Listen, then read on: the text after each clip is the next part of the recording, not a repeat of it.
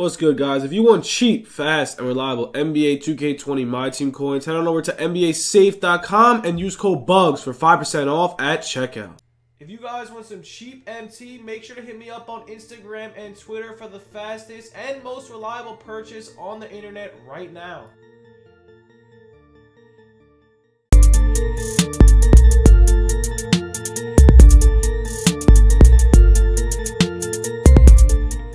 What's good, YouTube? It's your boy Bugz back on another NBA 2K20 My Team video. And guys, today we're to go over the final content of NBA 2K20. It looks like this week might be the final content as we're getting into August for NBA 2K20 My Team. So, guys, before we get into it, guys, smash that like button, smash that like, I mean, smash the like button, drop this up If you are new, it would be greatly, greatly appreciated, man. We're on the road to 12K. We're about 40 subs away.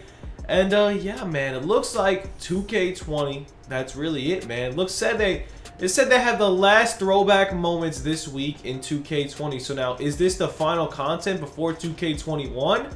It's possible. So, what that means is, pretty much if there's no more content, you're just going to see the market continue to crash. And honestly, guys, let's get into it. So they did release it on Twitter. So let's go confirm that. They said this is the final throwback moments in NBA 2K20. So does that mean that we are no longer going to see NBA 2K20 content? That's my question. I want to hear what you guys want think down below. If it is, man, we're probably going to get a couple GOATs this week, creating a giant endgame crash. We're also probably going to get insane super packs in uh, on the market. So let's go look at it on NBA 2K20 My Team. And yeah, guys, we have no locker codes, which is kind of stupid.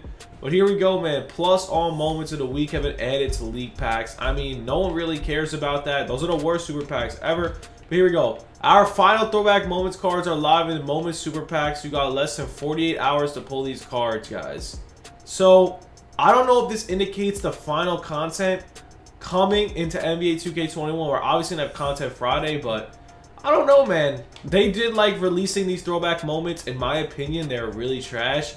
But uh, yeah, they're in super packs. Our final throwback moments cards are live in super packs. So yeah, that looks like that's it for throwback moments and whatnot. Um, we'll see, I guess. But yeah, that's really all we got for the video. Just wanted to give this update. I think this might be the last week of NBA 2K20 content. And then on this channel, I'm probably going to post a ton of NBA 2K21 news and whatnot. But yeah, that's it. Hope you guys did enjoy. Have a good one, guys. Peace.